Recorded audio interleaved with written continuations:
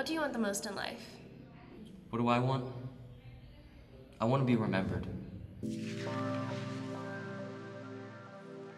I want to be known. I don't want to be forgotten ever. I want to be an excellent writer that everyone would know. But I can't do that without a great story. This is really my my last chance and I just I need something good for my story. You're still a student. This doesn't have to be your biggest story. You need to get over yourself, or you'll never pass this class. I could help you with your story, you know. See that guy over there? That guy's an intern for the government. There's a federal office not too far away from here. If you were to write a story on the files on his laptop, you could easily write the story of the year, or even the story of the century.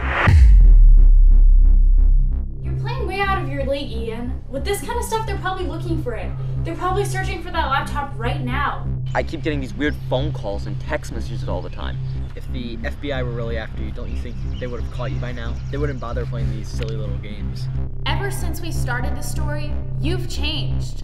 We've gone too far. My world is more important than the real world because my world dictates what happens in the real world. I think I'm being spied on. Spied on? Uh, Zoe said you weren't worried Zoe? about that. Have you been speaking to Zoe? I'm not interested in writing the second story, okay? We're not doing it. You need to convince her to push through with this. You can't just give up now. You started this.